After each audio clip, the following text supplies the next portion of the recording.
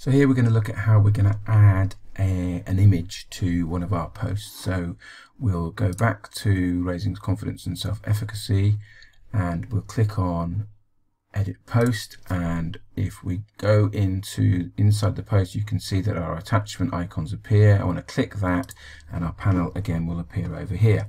Previous video we looked at uploading or importing a video. This time we're going to come down here and I've got an option I can drag and drop a file or I can choose a file which will take me direct to my computer so also down here look I can take a photo from my webcam if I have that selected and connected if I chose to do that in this case I'm not going to do that I'm going to select a file I've got an image in mind already which is the hockey girl so I've pressed that button there there are the GB Hockey Girls. Double click on that. That's been picked up by a Padlet.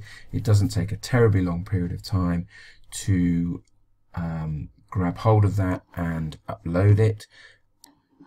There it is now, so that looks good. Yes, I'm happy with that. So I click OK, and now you can see down here that it's uploading within the post. So again, we wait for a little while for that to appear, and there it is.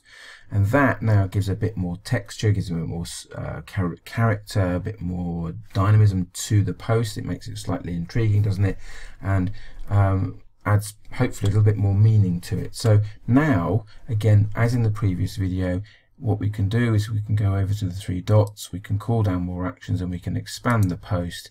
And even though it's not as big perhaps as the video was, once it loads up, which hopefully it will do just now, there's our stimulus to help us, if we need it, to make some points about, in this case, raising confidence and self-efficacy. So we can we can read that in isolation, which I think is really, really powerful. So again, very, very straightforward way of importing, in this case, an image into our post. Just click anywhere on the canvas outside this particular area to get rid of that.